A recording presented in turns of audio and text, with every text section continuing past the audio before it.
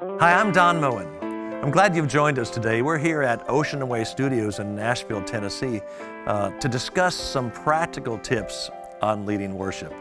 Uh, if you're a pastor, if you're a member of a worship band, if you're a singer, if you're a sound engineer in your church, uh, this is going to be relevant to you.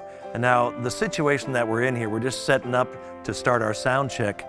It, it's a studio, so it's not exactly what you're dealing with every Sunday at your church, but the same principles uh, will apply no matter where you are. Talking about tuning your guitar, talking about how the band plays together, talking about the importance of being a sound engineer and listening to the sounds. Uh, if you don't have all these elements covered, you can work really, really hard with your worship team, and, and then it's, it's not going to translate the way it should. So, my prayer is that this will not just be uh, theological foundations or real heady knowledge about worship, and that, those are important things, but I want it to be practical, something that you can walk away with today and, and, and use next week in your church. So I'm glad you joined us. It's going to be a great time together. Thanks for being here.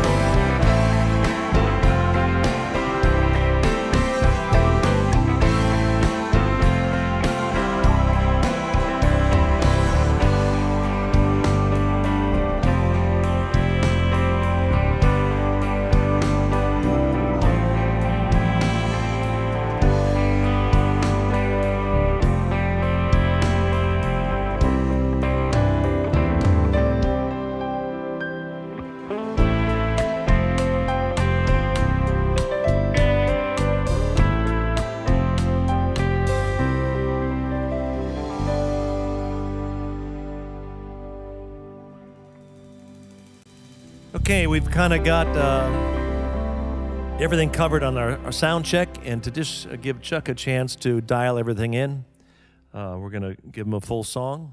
And while we're doing that, that gives us a chance to worship uh, through our rehearsal and our sound check. Amen? Enter his gates with thanksgiving and his courts with praise. Let's sing, Thank you, Lord.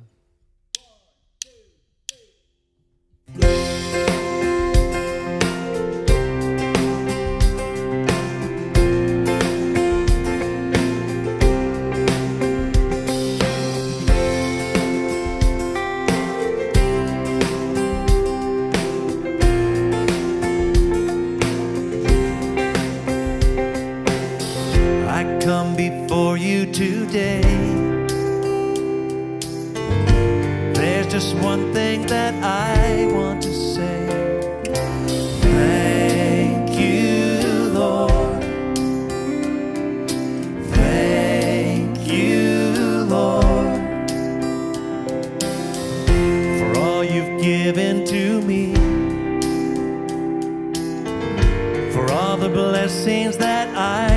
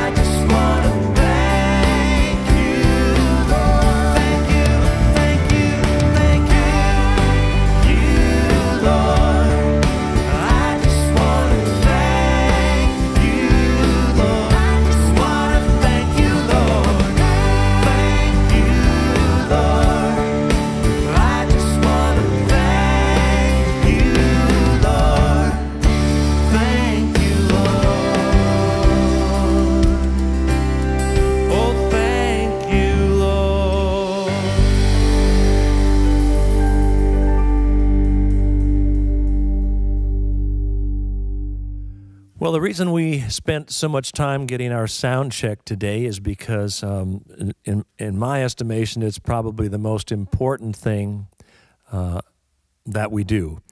Uh, you can rehearse all week, uh, you can um, have the greatest musicians in the world, but if you have a sound engineer who's not listening or is not with the program, he can and he will uh, sabotage uh, everything you've worked for. And uh, sadly, uh, I've I've experienced that many times. And and uh, the reality of touring, it's expensive. And if I can only bring one person on the road, I usually bring our, our sound engineer Chuck, because uh, he he my life is in his hands when I'm singing, and and um, uh, I've I've had a lot of experience with sound engineers who who just seem to love to uh, mess with my voice when I'm um, when I'm singing. they do weird things with the EQ. They do weird things with uh, reverb. And, and on the stage, it's very distracting because I, I hear it in my ears, I hear it in the house, and it's like, why, why is this guy doing this to me? Um, but it happens, and uh, that's the reason I love to have uh, Chuck Harris with me on the road. Uh, and so you saw us spend a lot of time tweaking all the instruments, getting the sound checked right. Um, and, you know, Chuck, why don't you just talk a little bit about uh, the importance of sound, uh, why you did what you what you did. Uh, you know, if you have a sound engineer who was the radio operator on a B fifty two uh, 40 years ago, or somebody who knows how to solder some wires together, you need to be praying for a sound engineer who has ears, because that is the key. In fact, I've uh, told Chuck uh, many years, and one day he'll write this book. He who has ears to hear, let him hear. So, uh, and pastors, this is for you as well, by the way. You can have a great church. Um, you can prepare for your sermon all week, and and and you know this has happened. When you get up there to preach, uh, there's feedback. There's a bunch of stuff happening, and your your sermons are in the hands of your sound engi- engineer as well. So, so you, you just need to be praying that God will send you the right guy or gal. And usually, I'll pick someone who who loves to listen to music and has ears. They they listen. Um, to what uh, to to what the people are listening to, and and uh, that's what really what you need. So, Chuck, talk to us a little bit about the importance of of sound. Now, t- to preface that, we are in a studio today. Usually, we're in a in an auditorium, a live setting, so things are uh, going all over the place. The sound is, and and Chuck has a much harder job. This is a uh, a dream for you because it's a much more of a controlled environment. We're in a studio, a beautiful studio here, uh, Ocean Way, in Nashville. Actually, it was an old church. It is an old church, um, but the acoustics. If you look at the ceiling, uh, they've been treated. Uh, this room could be super echoey and bouncing all over the place, but um, they've got acoustic tiles all over the place, which on the walls and on the ceiling, which helps uh, diffuse the sound. So, uh, Chuck, just talk about uh, the the attitude of a sound engineer, um, what you're listening for, uh, how you approach sound check, and all this stuff. Chuck Harris. Thank you, Don. Um, yeah, I, th- I think as a sound man, my job is to be a member of the band, and the whole concept for me is that they are um, delivering the music. They're the messengers. They're the musicians. They're the ones that are that are putting themselves out there in a performance situation. My job is to interpret what they're doing and to deliver it to the congregation or to the audience uh, in a way that's faithful to what they're doing. So I'm, you know, we're what we're doing as engineers is we're putting out the microphones, placing them in the right places. We're we're mixing them subtly in the right ways so that the audience has the best connection with what the band is doing, with what the musicians, the worship leaders are doing on the platform, and and the, even the sermon. You know, it's all it's all part of the experience for the audience is what's coming at them out of the out of the PA system. So, um, so it's not my job to dictate creatively what happens or to uh, you know to be the boss of what's going on but really to serve what's going on in the room and to, to be as really invisible as possible. If, if everybody goes out of the room remembering the sound, usually that's not a good thing. You, you, know, usually you want them to even not be aware that there's a sound man there. You want them to feel like they're hearing the band coming right off of the stage. Hey Chuck, why uh, why do um, it seems like sound engineers um, have can easily have an attitude. I've been in a lot of churches that get real protective of their of their console and they have this attitude like don't tell me anything. I know what i'm doing. And we have both experienced uh, churches like that. Why do you suppose they have that attitude? Well that's a good question. I'm not a psychiatrist but insecurity? Yeah i, mean, I think, I think a lot of that is insecurity. A lot of these guys um, you know you find you find something that you're good at you find something that you want to do and or or maybe you're not good at it but you think you are or, or whatever it is. But um, a lot of times people feel threatened and it's not just engineers although it, it seems to happen a lot with with um, engineers at churches. And you know it's and then and what happens is that these guys kind of feel like um, this is my thing. I'm the expert here. Don't tell me what to do. And um, guest engineers will come in and they're kind of aloof and and uh, and standoffish and stuff. And what ends up happening over the long term there is that there becomes this animosity between the the engineer and the people on the platform. And so people kind of get tired of the attitude and, and there becomes this tension there.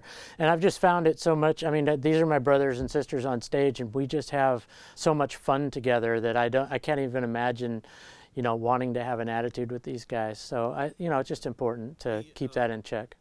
Yeah, I guess the, uh, the sound engineer has got to be a part of your team. He's he's as important as any player on the stage. And in my estimation, he's more important because he can sabotage everything you've worked for. So I can't stress enough the importance of praying that God will send you that person who has an attitude of a worshiper. Uh, they are in a hot seat out uh, in the in the auditorium because inevitably uh, people are going to come to you and say, "Turn down the drums, turn down." You know, why is it so loud? They give Chuck all these uh, evil eyes and uh, you know stare him down. So so when that happens, uh, Chuck, Chuck, is you've been gracious enough to um, to to let it you know just wash off your back, but people people attack sound engineers. They just they, something's too loud, and and a lot of times uh, we're going to talk about this in a minute. This the room is so live, it's it's impossible to mix properly. Um, let's talk about monitors for a second, Chuck. Um, uh, what we're what we're using today are in-ear monitors. I don't know. You probably have heard of. Um, there's several versions out there. I'll let I'll let Chuck talk about them and tell you what we use. But um, a lot of churches have just these wedges, uh, monitor wedges on the stage, and the singers have them. The band has them. The the lead singer has them. And what happens is uh, everybody wants to hear their voice. The alto wants to hear themselves more. And if the sound engineer is the husband of the alto, then we're all in trouble uh, because you're going to always hear her voice over everything else. But um, uh, when you have these wedges, they're, they're putting sound back into the room. And if the monitors get too loud, what the people in the audience are going to hear is just this bounce off the back wall, and it's going to be really hard to get any kind of clarity uh, in in the sound. So uh, we are using, we've gone to using in ear uh, monitor systems. Chuck, talk a l- little bit about that and, and tell them why we use them and what we use. Yeah, um, boy, it's so important for the band to be able to hear themselves, and that's why we do that way. We set up monitors, either speakers on stage or headphones, and they, you know, they can be inspired by good sound in their headphones, and because the band needs to hear not only themselves, but they need to hear each other, and that's where we get into trouble a lot with a lot of musicians, especially church musicians they want to hear so much of themselves that they're not listening as well to the other players. So that's a something for the the worship leader to work through with, with the band, the music directors with the band, how to listen to each other and give preference to each other as you're listening. But so what we've found is that we like to use the in-ear monitors, which basically gives everybody uh, earbuds or headphones on stage, and that um, that basically just cleans up the sound on the stage. If you can eliminate as much noise going on on stage, the better off you are. So we take away the speakers and it's all right there. So you don't have sound from speakers leaking into microphones, creating feedback, and also bouncing around on the stage and creating um, unintelligibility for the audience. You know, just that. I've been in situations where the uh, where the band wants their monitor so loud, you they just keep turning it up and they say, "I need more of me and more of me," and we we get it so loud and then I turn off the front of house speakers, and you almost can't tell the difference in volume in the room, for, in the audience, from the audience, because the monitors are so loud. And obviously, it's not a good, clear, direct sound. It's just this muddy sound on the stage, because the speakers are all pointing the other direction and bouncing off the walls. So we like to use the in-ear monitors just because it cleans everything up. It also tightens up the band because there's no time differences, uh, delays. Everybody's hearing each hearing everything directly in their ears without bouncing off walls and, and all of that stuff. So it helps them play tighter and get grooves better and that kind of stuff. What are, let's go through a few um, uh, systems that we've used and talk about the one that we use now. Well, we started with the Furman years ago. Uh, that was an analog system and it was, sounded great. It was limiting. Uh, then we, we worked with the Aviom system for a while and that was great. They sort of pioneered the whole Ethernet um, sound over Ethernet thing, and that um, that worked great for us for a while. And then you know it started catching on, and other people are building those systems now. So you've got um, you know, hearback systems for, for more of a, an affordable thing. A lot of churches are using the hearback system. Um, We've used Ro- Roland as well. Yeah, the Roland stuff, Roland, and they've they've kind of integrated a whole, you know, with their Roland digital board. They've got mixers that work with that. Um, that those are great. It's a little expensive. Behringer now is making uh, the whole digital system with their headphones, and those those work really good and they're affordable. Um, we're using the MyMix system. I like it for traveling. It's got a uh, each box has a small footprint, and basically what that means is each each musician on stage has his own little mixer. There's 16 inputs, and they can mix whatever they need to hear in their ears. And so, the, with the MyMix, the footprint is small, meaning that I can pack it up in a case and it travels well. Um, and it's got great features. It's got EQ on every channel. It's got master EQ. It's got effects built in. It's got a little SD card slot so you can uh, record full wave files with it, multi-track, um, all of that good and, stuff. And it's affordable. Yeah, and it's relatively affordable. It's you know it'd be a little more than the Behringer, but a lot less than the Aviom, and it really is. And it's the sound. I shouldn't say this out loud, but but the sound is really really good.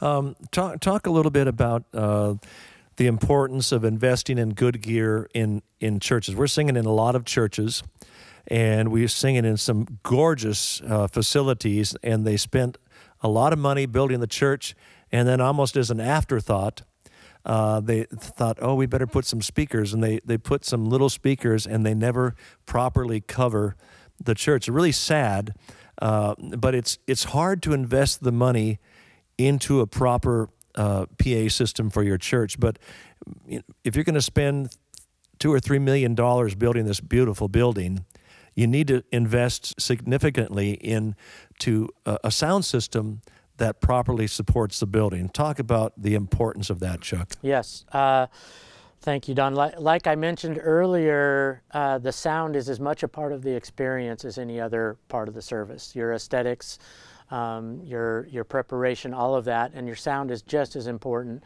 And there's different components to that. But I would say, as a rule of thumb, Don was mentioning, you know, spending you know good money on your system. As a rule of thumb, I heard that uh, for a whole, full building budget, if you're going to spend $4 million on your building, you ought to spend 10% of your budget on the sound. So, you know, that'd be like $400,000 or something like that on a $4 million building.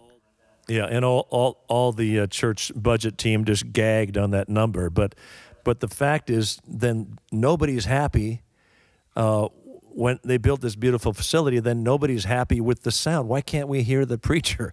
And uh, isn't that what this is all about? You need need to hear the word of God. You need to hear what's happening. So I really want to encourage you to uh, listen to what Chuck is saying. Invest in a proper sound system, and in fact, you have consulted uh, a lot of people around the world. You could probably be doing this full time if you wanted to, but just uh, going in and helping them try to fix the system they have, but ultimately it's it's about dollars and investing in proper gear, right? Very much so. And again, training, like you said, getting the right sound guys in place.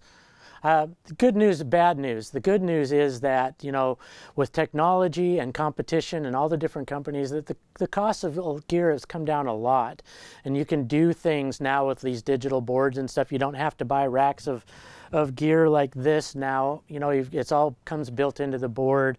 You can record presets. You can do all of that stuff in these digital boards nowadays. And so the costs have come down uh, quite a bit on gear and the technology's gotten better and better. So it's, it's possible to put in a good solid system without having to spend, you know, crazy amounts of money, but it's but it is important to get the right equipment for the applications you're doing. So, how does someone contact you uh, if they want you to come to their church? Are you willing to do that? And how do they um, how do they contact you? At the bottom of your screen. Uh, no. uh, just email me at chucksmix at yahoo.com. Chucksmix at yahoo.com. And if you want uh, more information about the in ear system we use, uh, that's mymixaudio.com. Mymixaudio.com mymixaudio.com. That's what we're using. Uh, great. Thank you, Chuck. Thank you, Don. Okay, so uh, we've kind of covered the the whole idea of sound, the importance of our sound engineer, um, and and and how um, how important it is to get the right gear. And uh, now uh, we're going to break down a song a little bit, uh, just with with all the players, and just uh, talk about how we approach a song, um, the importance of playing to the song, uh, not overplaying. And um, uh, since since we were talking about this acoustic uh, treated room earlier, um, again, this is not a real live situation. Uh, if you're in a, a, live room, like a church like this, usually it's going to be so uh, boomy, uh, your drums are going to bleed into everything, and your drummer is, uh, if he's not uh, mature, he's going to end up with an attitude uh, like, uh, you know, why do I always have to be the guy that um, plays soft? You know, a lot of churches. when they walk in, especially conservative churches, they walk in and they see a drum set. Immediately, they have an attitude. So a drummer ha- has to have a little bit of leather skin and have to have a good attitude because people depending again on the church, they're going to look at you with suspicion. Uh, and uh, uh, but a, a, room like this typically uh, is going to be a, a, real hassle for drums for a sound engineer uh, to try to get the drums to play soft enough. Uh, so Tim is you're. You, when we played earlier, you were playing loud with with sticks, right? That's right. So, yeah. So um, typically in a room like this, uh, how would you approach? You're going to be listening to Chuck probably. Right. Play softer, play lighter. What are some options that you have if, if we're going to play softer? Um, I mean, you know, any drummer is always excited to be able to play with sticks at the full volume. Um, the drums just they just sound the best that way. That's a great way to be able to play, but you rarely have that luxury in a live situation. Um, so you know, when we're on the road, we might be playing outside where I, they do want to have some volume, but we also might be playing inside a church or um, just an echoey kind of room. And you really have to have some options for that. Um, the first would be um, do you want me to demonstrate? Yeah, right now you're, you're playing with sticks, you know. I come before you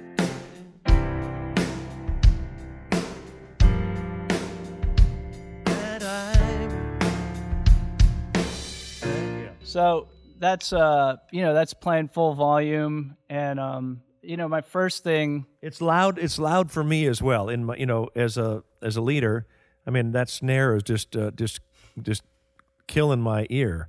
So as a worship leader on stage, your drummer, if he's playing super loud, um, you just have to have, have to have a great relationship with him. Within ears, it does kind of plug the sound a little bit, so I can you know, mute some of that. But boy, if a drummer's playing loud just five feet behind you, it's going to affect the way you sing. You won't be able to hear yourself. So you gotta you gotta talk about all these things. So in this case, I would probably say to Tim, um, "Your snare is killing me.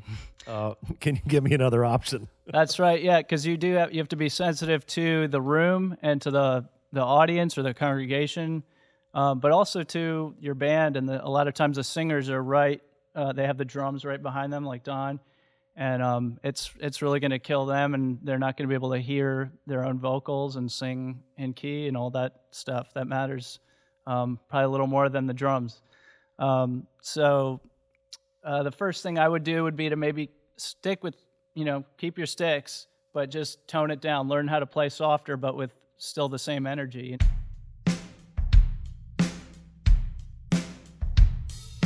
So just hitting a little lighter. Don't you know? You kind of have these uh, levels that you can graduate to or, or go down to. Um, and then I would just, uh, if it's still too loud, you know, they have all kinds of different stick um, options now. They have rods. Uh, these are rods, so these are a little lighter.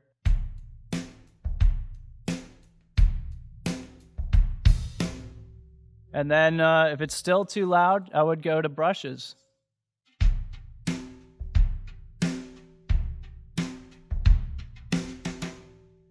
Um, and and you can get creative too. You can get uh, percussion sounds happening, and don't be afraid to uh, mute the drums. Um, you know, throw throw shakers or whatever you have um, on your drums, and and just get different sounds, and that's a cool way to. to so what do you got? You have a, a, a, rag on top of your snare. Yeah, that's right. That's right. You can throw a towel, or uh, they make all different kinds of mutes for drums.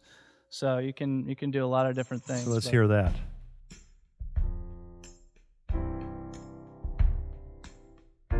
There's just one thing that I want. Yeah, play that way from now on. Play.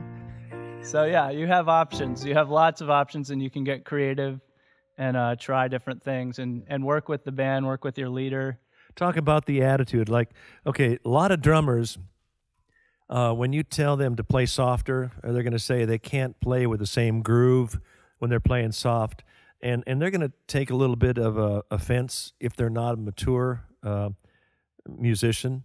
Uh, to to having to play with brushes or rods or something like that, or in this case, he's covering up his snare with a with a rag, and, and it's got a shaker on top of it. But a, a professional drummer will play for the situation. So, uh, as a worship leader, don't buy into the argument your your drummer's giving you. Like, I can't I can't play the groove when I play that soft. It's just it's not true. That's right. That's Um, right. We played a lot of different uh, situations, and and I actually like when the band is really close together in a small sit, sit a small setting because it's it's just kind of more fun to play. You hear everybody, but everybody's got to play down a little bit um, to the room, and it, it actually works and is a lot of fun.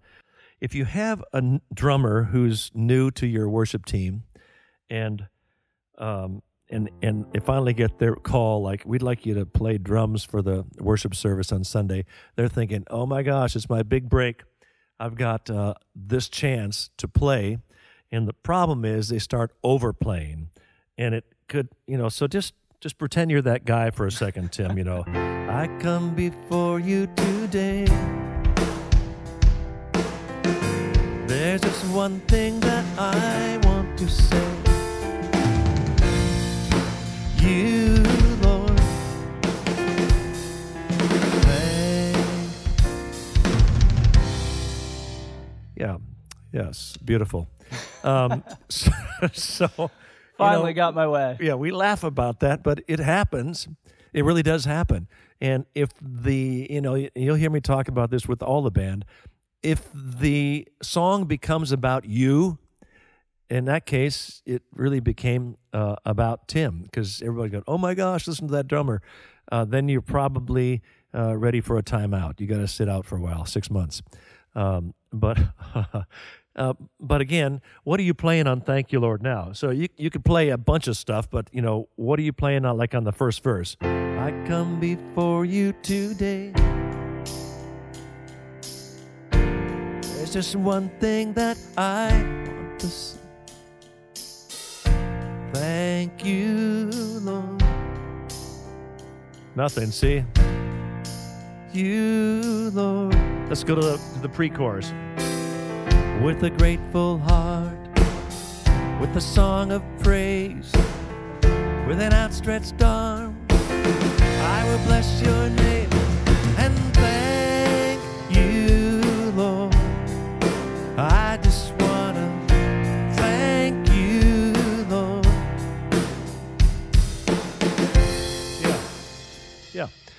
All right. So, uh, you have anything else you want to say about that? Uh, just that you know, if you start smaller in a song, then you Yeah. actually have somewhere to build. If you leave air and space, it Yeah. it frees the music up to Mm-hmm. to reach people and and it breathes. It just feels good. It sounds good, and it's not about the drums. It's about the overall uh, yeah. element that we're producing together. Yeah. Dynamics. You know, you got you got to be able to start here and go somewhere. If you start at double forte, you got no place to go, and it becomes just kind of this boring um, thing. So, all right. And since we're talking to Tim about uh, his his approach to playing, uh, the relationships between a drummer and a bass player are really important. This this is the meat and potatoes of your band. Uh, so these guys need to be on the same page all the time. So, uh, Jason, let's uh, talk a little bit about uh, your uh, approach to playing, uh, kind of what you're doing in the group, and um, like like what are you doing on the um, uh, on the verse? I come before you today. The first verse, nothing. Nothing at all. nothing at all. Okay, when do you come in? I come in on the pre-chorus. Okay. With a grateful heart, the song of praise, with an outstretched arm, I will bless your name and thank you, Lord. I just wanna. What are you playing there? Just, just, uh, just bass and guitar, uh, bass and piano here. Let me hear what you're saying. Thank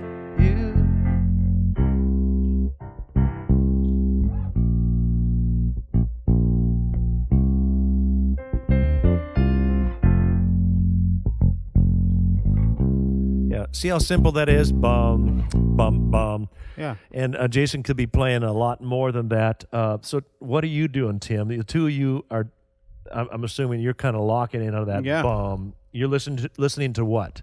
I am listening out for his kick patterns. Okay. So, what are you doing, Tim? Um, just playing along.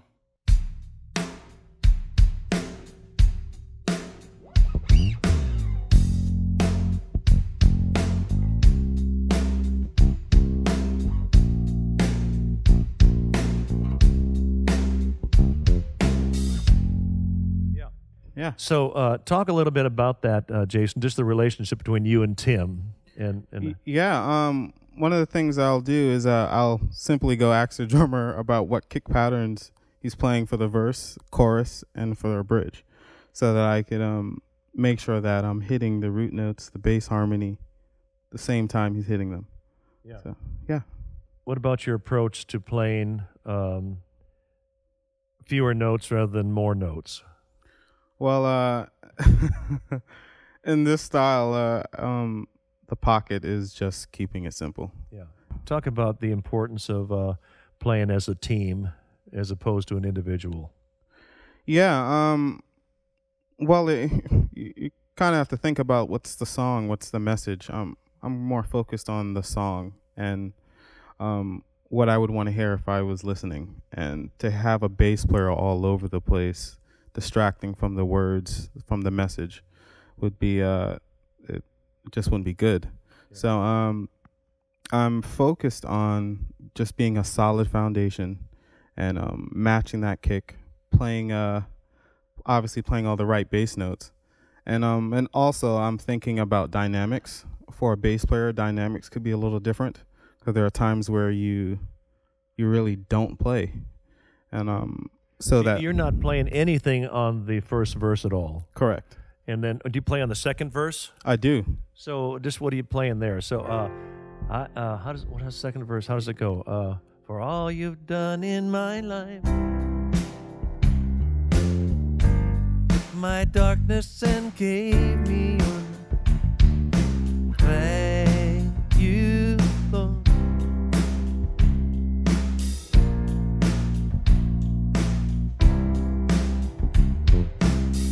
Yeah.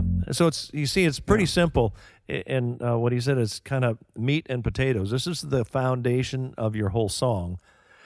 And if these guys are too busy and and not locking in together, it's gonna it's it's just like a house. If you build a house on a shaky foundation, the house is not going to be secure, and eventually it's going to fall down.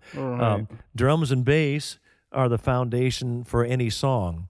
Uh, so this applies to um, the the players, but it also applies to Chuck in the mixing or, or your sound engineer because when you're mixing the sound i'm sure chuck and we'll talk more about this when uh, when he talks about his concepts of mixing but bass and drums usually start any mix that you're that you're working on. So it's this it is the foundation and it's important that these guys lock in together uh, and and have a relationship uh, that that allows them to work together because that's going to make or break the song all right, we've talked about um, drums and bass uh, since Lenny is uh, right over here to my left. Uh, let's talk a little bit about what the acoustic guitar is doing. How do you approach playing? Um, uh, what are you doing on this song? S- something simple, I know. Well, the, the intro, Tom and, and I on electric guitar, uh, Tom over there, we're doing that same intro together pretty much. Then when it comes to the verse, I'm just doing just uh, diamonds. Come before you today. There's just one thing that I want to say. Mm-hmm. And then um, diamonds as well on the pre-chorus. With a grateful heart, song of praise. Mm-mm. Then I'll just go to a simple up and down strum on the on the chorus. Thank you, Lord. I just want to thank you, Lord. That's pretty Yeah. much it. It's simple. Yeah. Uh, when you are talking about acoustic guitar, do you you lead worship at your church or, do, a yes. lot? Do you lead with electric or acoustic, or how do you? Um, I used to lead with elec with acoustic a lot, but uh, since our electric players, some of them, some of them transitioned, so I had to um, go to switch to electric. But I see uh, one downfall I see in a lot of acoustic players and, and uh, worship leaders in churches. They always play the acoustic guitar really hard. Yeah. You hear them talk, oh, I'm breaking strings every service. You know, if you're breaking strings on an acoustic guitar, chances are you're playing really too hard because an acoustic instrument has a threshold. And when you exceed that threshold, even in drums, you and I have talked about this, Tim, all the tonality goes away from the instrument and it starts actually distorting. So if you want a great tone and a great sound, lighten up your touch. Maybe use a, a smaller, a thinner pick. You're, uh, you got your capo on the third fret the third as well. Fret. Why do you have that? Well, because we're in the key, of, the key F, of F. So, and if you want that open sound, have open strings, then you go to the five. But when you go to the to the four, you're having to do a bar chord. It just seems Okay. kind of it can sound kind of choked off. yeah. And if you put it on the third fret, you've got a little bit different voicing, and all the chords are open. Lord, I just want to They all- thank you. Yeah. It's Okay. got a different uh, timbre to it, I Yeah. guess you'd say. How, how is it? Because you lead worship with uh, Lenny leads worship with the piano as well. Mm-hmm. So, um, how is it uh, as a worship leader? Is it easier to lead from a piano or easier to lead with an acoustic guitar? I think it's easier to lead the band from piano because the, the piano is such a dominating instrument. Yeah. But it's actually a little bit easier to um, to lead for me with the guitar as far as um, we're interacting with the congregation. Okay. It's kind of a guitar you can take, you know, take that right hand off or whatever, and Yeah. you know, acoustic guitar is not like the dominant instrument. Right. Where piano sometimes it can be, you know. Yeah. So uh, again, it's just uh, you know what I hear Lenny saying here is uh, simplicity. He's playing uh, just just what needs to be playing, nothing more, um, and it it makes for the whole uh, band to work together. Um, it's not about one individual; it's about playing with with your entire team, and that includes the vocals as well. It's not about one alto or one soprano or one tenor or or a bass or a drummer. You'll hear all these guys say the same thing. It's about playing as a team. So um, let's talk to. Um, uh, we got Tom Lane on guitar over here. Let's uh, uh, see what his approach is. Uh, give him a chance to talk about how he play, how he approaches playing, and and what he's playing. Um, first of all, um, Tom, i- one thing we haven't spoken about is uh, tuning your guitar. Talk, talk about the importance of tuning your guitar. besides the fact that it's a must? well, it's an ongoing thing. For one, you know, uh, guitars are made of wood, things that change with the atmosphere, things that change with the climate you're in. So I'm constantly tuning, especially in outdoor events. You're always tuning. I'm always tuning because of capos. Because anytime you place a capo on the guitar, it's, it's it intonates differently. So you're adjusting it constantly. So it's just an important thing. Anytime we're not doing anything on stage, or if there's a moment, I've got it, you know, I've got it muted, but I turn my tuner is always on, so I'm checking my tuning. So where is your tuner? You got it on your on It's your right here on my board. It stays on. I don't have it in a. I've got. I have it in a loop so that it's it's in a constant on mode. I'm not actually going through the tuner and then muting it to to play, which you can set up a tuner that way as well. But I have it set up so that it's always on. My volume's down, and you can see the light lights up, and I can adjust the strings accordingly. Yeah. So uh, you know, it seems like a silly little thing, uh, tuning, but gosh, it's, if you've uh, worked with an out of tune guitar, it's really aggravating. And uh, uh, these guys all have tuners. You know, our bass player uh, and Lenny's got a tuner. Uh, the only guy that doesn't have a tuner on the stage is me. Because I got my piano, but uh, everybody's tuning all the time. Uh, we'll talk about your board a little bit then, since we're talking about tuning. You got a, a bunch of pedals there. Um, are you using all of them for me? All of them for you, Don. Only, only the best. More is more yeah, for you. Well, uh, you know, there is. I call it a meat and potatoes kind of board. I actually have two different types of uh, delay units. One is a multi-effect unit that has more than just delay. Um, it has a lot of different filtering effects. It has reverb. Now, on this song particularly, I've got two different delays going in two separate units so that I can have a quarter note delay and an eighth note delay, so they're playing off of each other. But aside from that, there's really not a lot else going on. In the signal right now. You, you, see all of this front half of my board is is what I would call a front end of an amplifier. It's distortion pedals and overdrive and compression. And so as needed, I put them on, but right now I don't have anything on but the delay. And what does that sound like? So what are you so playing? I've got a very simple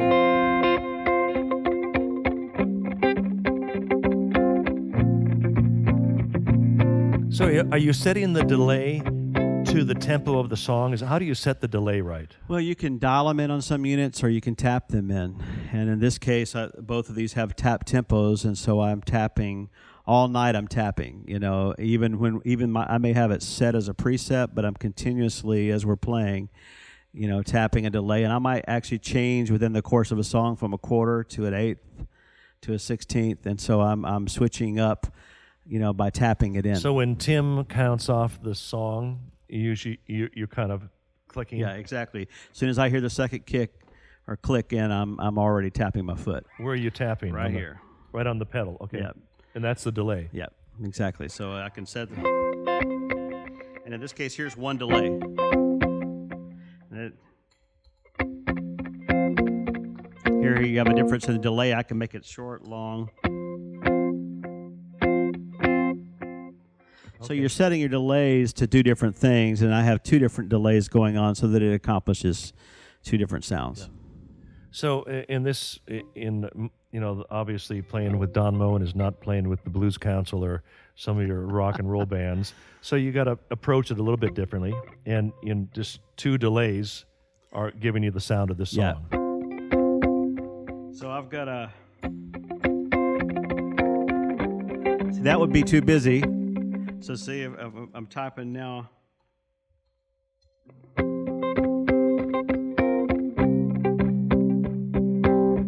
I'm letting the delay work for me. I'm muting the back of my hand and I'm not using as many downstrokes to play it. So the intro part that Lenny was talking about is typically an acoustic part. I'm kind of following that.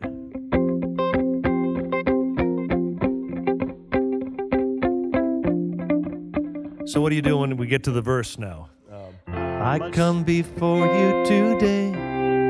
Combination of swells and diamonds. There's just one thing that I want to say. Thank. Using your volume pedal. Thank you. Let's go to the pre-chorus. With a grateful heart, with a song of praise with an outstretched arm. I will bless your name and thank you, Lord. Just want to thank you, Lord. Yeah. Um, so it gets a little busier as it goes, but it's not a lot. Dynamics again. Yeah. yeah. So, what is the name of the board you're using? What do you recommend in terms of gear uh, for the guitar players out there? Well, I, I, could say a great staple if you want a lot of bang for your buck. The uh, Line 6 M9 is one of the better units that you can buy to get everything from delay, distortion, EQ, compression, filtering, modulation effects. How much does that cost? Uh, Three ninety nine, four hundred and something dollars, I think. And you lead worship at your church uh, every week, well, just about every week. When they let me. Yeah, and uh, you're leading with guitar. Yep, acoustic always. or electric. Uh, both. Uh, most often with acoustic, typically because I, I carry the band, yeah. and it usually is the dominant instrument, and so rhythmically it allows me to to kind of set, set the pace a lot lot yeah. better. Yeah. So I love playing it with electric, but I lead differently from electric, and it always depends if there's another electric player there. If it's somebody I'm confident in and I can step back, then it's great. I can just I can carry rhythmically what I need to on electric or acoustic. How do you have enough um, discipline to not uh, use all the pedals on your board on a Don Moen song? Well, you know we could. We should try that sometime. We'll, we'll do that in a minute. It, it, makes for a big mess, and the truth is, I the reason I have so many sometimes is we travel a lot, as you know, um, and everywhere we go, it's different. Every night, an amp is different, uh, and so I literally have five or six different pedals, knowing that one of those is going to likely sound okay through a particular amp or another. So I don't need to step on all five or six because they do similar, if not the same things. So I'm just picking the right color as we go. And why do you have two guitars, two electrics today? Why do I have two? well, uh, a lot of it because this particular guitar uh, covers a lot of bases. So does this one. So rather than bringing five or six guitars to give me different sounds, this one includes some modeling. So I'm able to dial up Gretsch sounds, Rickenbacker sounds, Tele sounds, Strat sounds. This one I love because it, it gets, uh, with the selector switch, I can EQ it, or it's EQ with a selector switch that I can dial in your typical Gibson sounds, but then I have some different uh, options with this. So I just love it. It covers a lot of the bases in one setting. Okay. Um, thanks, Tom. And we're going to uh, talk a little bit more in depth with Tom about uh, his gear, uh, how he approaches uh, leading worship with a guitar. Uh, so we've talked to just about everybody in the band except uh, our auxiliary keyboard player. We saved the best for last. this is Kiko from Puerto Rico. he actually lives in Nashville now, but um, Kiko is the auxiliary keyboard player. He's, you know, I'm playing keys all the time, almost on every song, and uh, Kiko's uh, in kind of a support mode, mm-hmm. uh, supporting what I do. Um, so, you know, this is uh, he, he, provides a lot of atmosphere for what we're doing. Mm-hmm. Um, just the overall pad. We call him the pad man because mm-hmm. that's what he's doing a lot of times. So, uh, Kiko, talk about uh, kind of your approach to um, obviously if you're leading yourself, you can play differently. But as a right. as an auxiliary keyboard player, what's mm-hmm. your approach? Um, I guess as an auxiliary player, I'm always I'm kind of locked into what the piano player is doing. Uh, we kind of have to we kind of have to live. Uh, I, it's my job to support Don on what he's doing. Um, so I don't want to take up a whole lot of space, uh, but um, but I want to make sure I'm supporting him and that he feels like, you know, even if he has to let up for a second, you know, that there'll be coverage there. But a lot of times it's playing in different spaces. So if he's playing in a in a particular uh, inversion, then I should invert up and play something different. Uh, so a lot of times, even sonically, uh, he's playing piano and driving it for the most part. Uh, so usually I kind of have an EP that's sort of always on and it's very warm. I mean, you wouldn't play it to lead by yourself. You know, it kind of sounds like this. You know, and by itself, it's nothing special, but then it allows my pads to kind of blend in with it and give me a little uh, attack. Uh, let's take take "Thank You, Lord" for instance. What what are you playing like on on the verse? Well, what what are you playing on the intro? Yeah, I'm just highlighting you. So.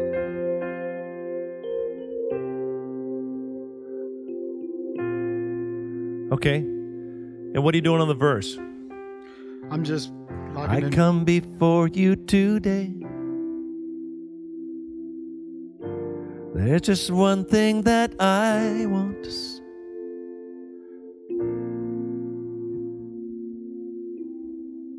That's really it. pretty pretty simple. You, Lord, let's go to the pre-chorus. With a grateful heart a song of praise, with an outstretched arm. I will bless your name. That's it. And thank you, Lord. I just want to thank you, Lord.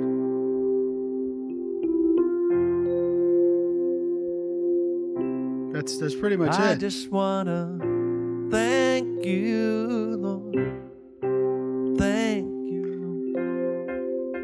Okay. You know, so so my yeah, so it's super sparse, just mm-hmm. uh, way kind of in the background. That's yeah. auxiliary keys. I mean, he is not the lead keyboard player, and I'm I'm playing. You know, I come before you today.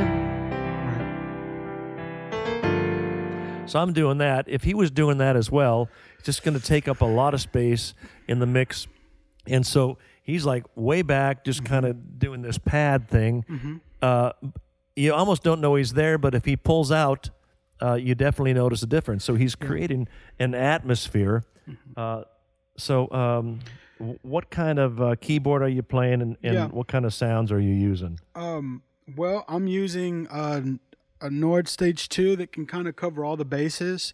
Uh, I really like it because a lot of times, it, you know, I have to play B3 as well. Um, so it allows me to kind of have a very useful B3 and piano, and at a pinch where I can't have another keyboard to, to play pads, Um, I can dial in some pads as well and kind of layer them all. So I have a total of five layers that I can do, um, which is really nice. And you can route it different ways. I can connect a computer to it and control it as well. Um, so and that's the thing as an auxiliary person it's literally that an auxiliary so you have to you, the fun part is there's a lot of different layers and fun things that i can create you know like in the in the verse um you know uh like play the verse for a second I come before So here- you today. i'm playing pad There's just one thing that I but i can start easing in some strings Thank you, Lord. Thank you, Lord. and it doesn't seem like it makes a difference but then when you go into the once you start going into the pre-chorus you know um uh, thank you lord thank you lord before he goes into a grateful heart i can swell the strings in with a grateful heart with a a song song of praise. With an outstretched then i can bring in some b3 I will bless your name and thank. I You know? just wanna. so the reason that's the reason why we i'm not playing a lot of notes is because i have to be able to bring in some other instruments there and still leave space for everybody else so you can feel the string section you can feel kind of a pad you can feel some b3 in there but it's not overbearing if i just play chords with them and try to do the same thing it's going to be a mess as you'll hear in a All right, second talk about uh, the simplicity of uh, your approach. I mean, you Mm-hmm. do a thing where you, um, what do you? Yeah, I do this thing where I kind of just tend to put a pen in my hand, um, or or a stick. Like Yep. You know, so so I kind of just go for that. Um, so and it helps me. It helps me kind of just stay in a certain place, you know, so that I can't play too many notes. You see. You know, so what that does is it keeps me from having to play five or six or seven notes. And that all started by mistake. I was, you know, writing out some charts and stuff, and I had a pen in my hand, and I was starting to play, and I was like, oh, I like those extensions are really nice, you know, and and um, so that that's how I stumbled across that. But it's a very useful tool because you want space. So you you tell keyboard. You, you, actually, I've seen you do it with a pen in both hands. Yep. Uh, put a pen in both of your hands, Mm-hmm. and it, it limits. You you actually only have three fingers you can play with, or two. Yeah, three or four at the most. It's dep- it depends how you do it. But um, the reality is, as an auxiliary player, the the the less real estate you can take up, the better. Um, because I mean, there's always moments where you know things happen and you're playing pads and you can be a little fuller in transitions and things. But in the actual song, I mean, you're if you're playing over four notes, it's it's it's going to start taking up space. A, a lot of the ways I use Kiko, um, I mean, he creates an atmosphere. Uh, you know, what we're trying to do as worship leaders is we're trying to create an atmosphere that allows us to have a conversation with God. I mean, a dialogue with God. I mean, and and part of that is setting the right tone and the right atmosphere. And it's not about manipulation. It's just about trying to set the right tone. And uh, you'll hear Kiko, like for instance, on the end of. Um, uh, that song, you know, uh, let's just say we ended in the key of F. Thank you, Lord. And if I wanted to go into a moment, Lord, we thank you for your goodness, for your mercy. Thank you for your love, for being with us here today. We give you thanks and we give you praise. So you hear what Kiko's doing. He, he's just kind of there, setting this atmosphere of worship, and um, and he's he's listening to what I'm saying. Talk about you, you pray as you play. It's just that approach.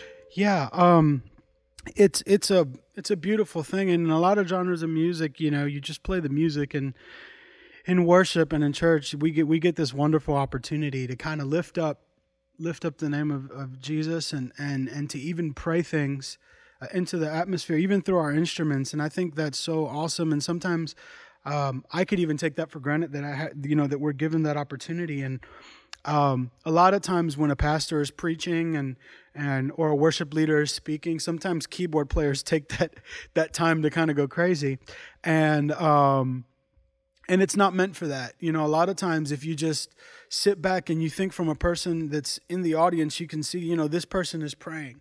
So anything anyone on stage is doing should be contributing to what that person is doing and what's being highlighted in that moment. So if Don's praying, then I I, I want to pray along with him, and he's and if he's praying for peace, then I don't want to be rambunctious and play you know really busy things. I kind of want to be very very subtle, you know, and and do that, you know. And if he starts praying for the power, you know, of God to fall on the place, then yeah, then you can start, you know, kind of, you know, go there a little bit, you know, maybe add some strings. And it's not manipulation, it's you're actually getting a chance to participate in the prayer yeah. of the person that's that's praying. Yeah.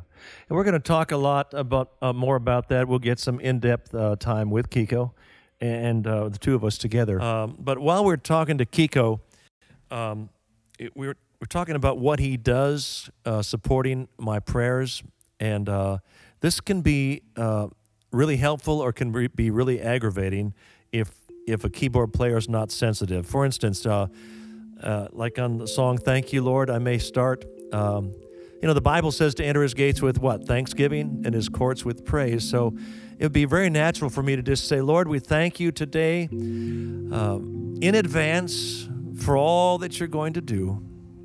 We love you, Lord. Thank you for your goodness. Thank you for your mercy. It'd be very natural for me to do that.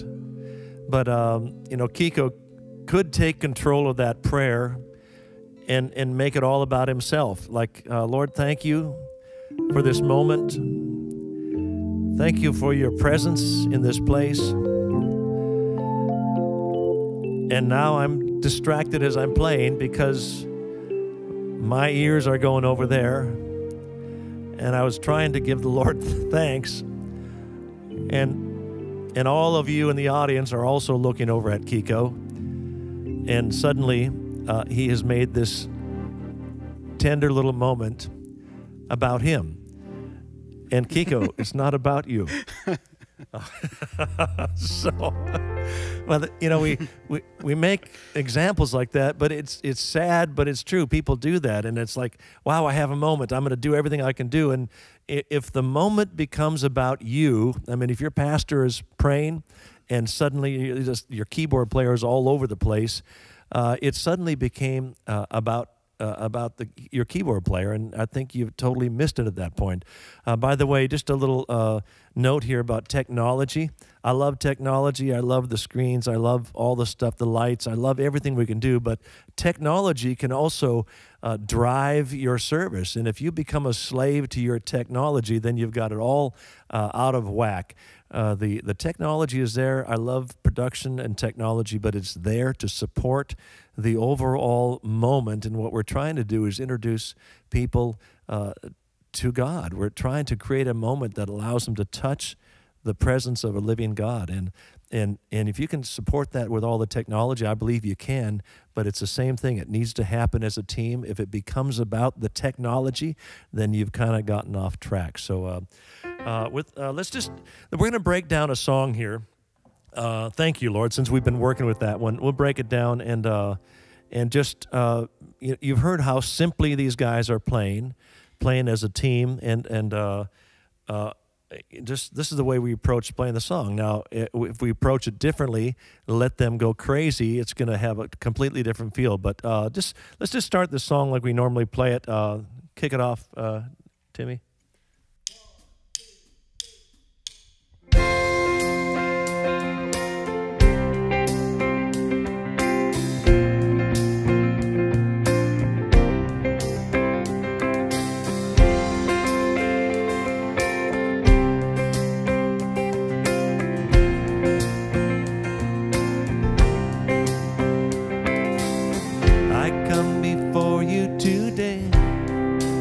Playing, Kiko.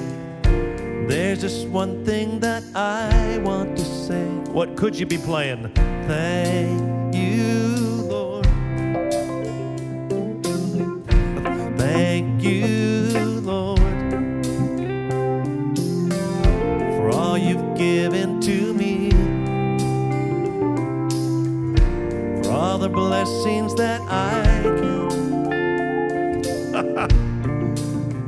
kind of like that.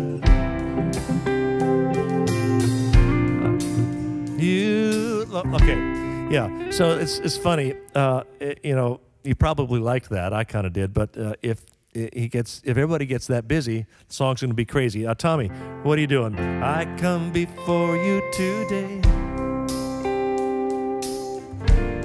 Just one thing that I thank pretty simple. Is that all you got? You, Lord, for all you've given to me,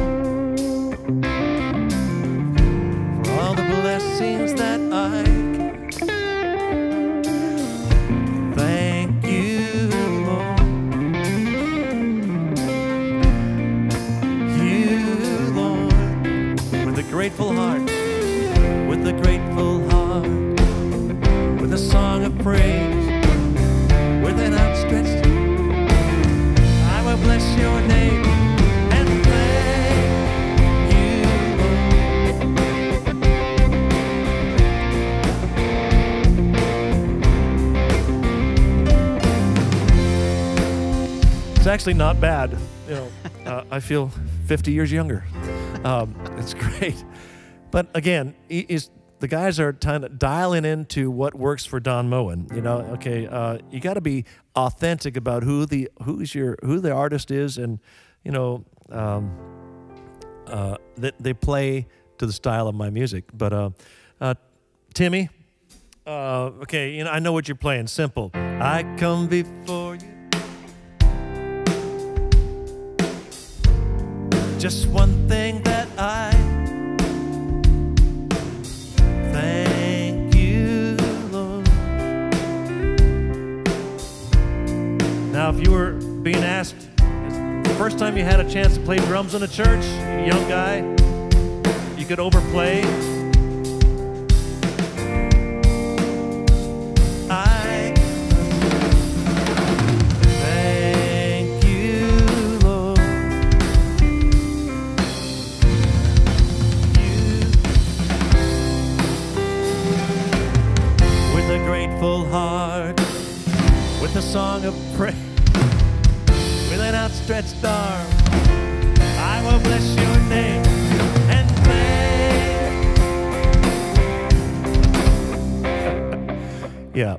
That's a little over the edge.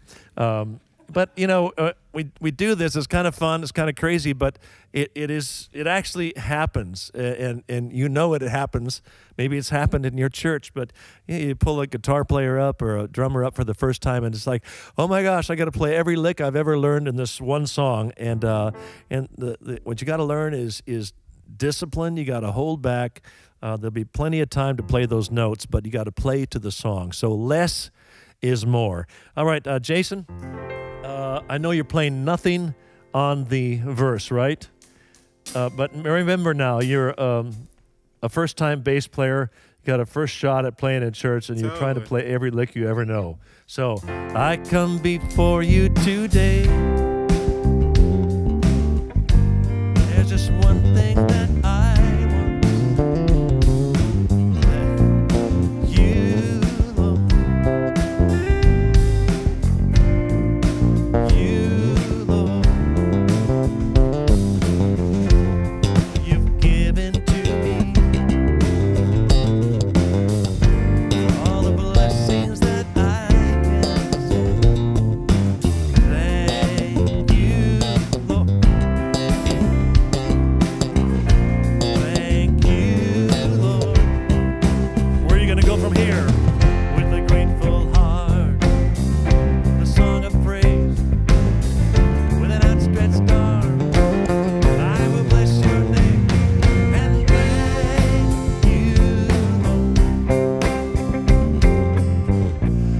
Suddenly, I had this feeling it's all about Jason. Um, yeah, um, you played more notes uh, in that first little section than you usually play in the whole song.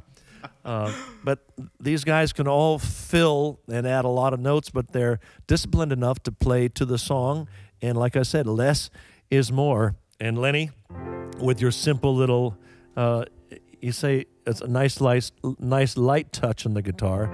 So if you were going to, now I know you never would, but if you were going to overplay, what would it sound like? I come before you. Just one thing that I thank you, Lord. You, Lord. Why you join him? For all you've given to me. Everybody, overplay a little bit.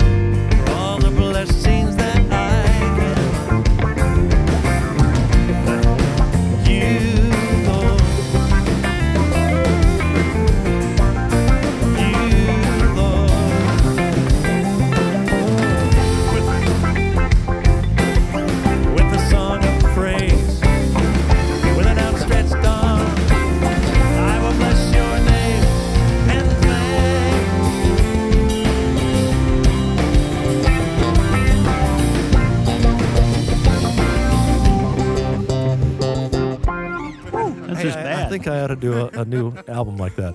Um, so again, and not play it the right way. The chorus. Thank you, Lord. You, Lord. Yeah. Yeah.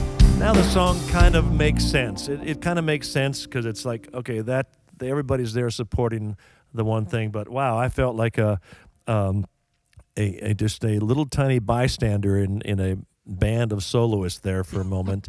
and uh, maybe you feel that way sometime as well as a worship leader. So, again, if you've got these uh, uh, young guys in your band, I'm say young, but it could be any age, but somebody wants to overplay all the time, you need to be strong enough as a leader to just say, uh, all right, um, Mr. Guitar Player, time out. You have to take six weeks and sit on the on the front row of the church while until you learn that this is not about you.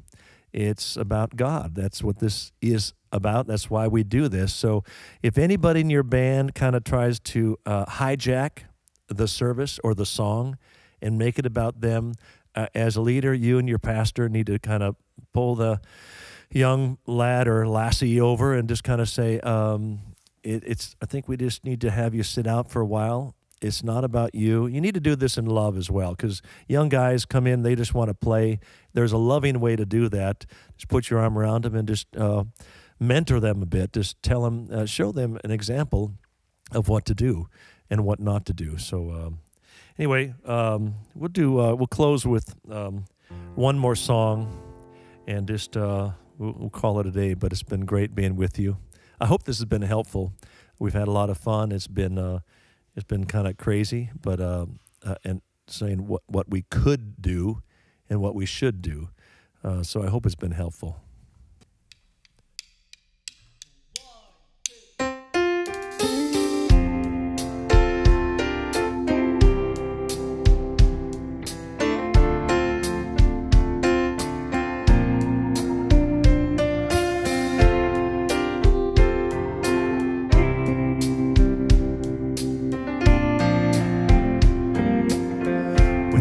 Every beat of my heart, every song that I sing, every prayer that I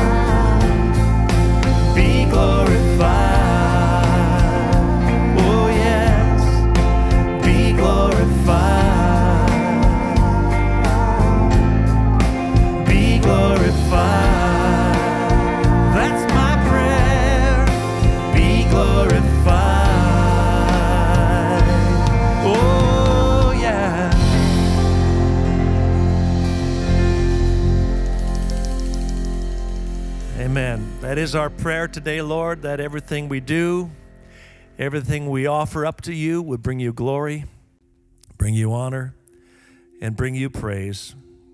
I ask you to uh, touch my brothers and sisters. I ask you to stir up the gift that's in them, Lord, the gift of leading worship, the gift of songwriting, uh, the gift of new melodies and new chords. Stir them up, Lord, I pray. Be glorified in everything we do and in everything we say. That's our prayer. In Jesus' name, amen. God bless you. I pray that this has been a blessing to you. Uh, we're going to do a lot more in depth with uh, Tom and Kiko, uh, Tim and Jason. Uh, we'll even do a vocal session as well. So there's a lot more uh, if you if you have the time for the resources. I just feel this is a is something I love to do. It's an it's a necessity for worship teams, worship leaders, and pastors alike. I want us to become excellent uh, at what God has called us to do, and we can we can all make a decision that this time next year we're going to be at a different level in responding to God in worship. God bless you. I look forward to seeing you soon.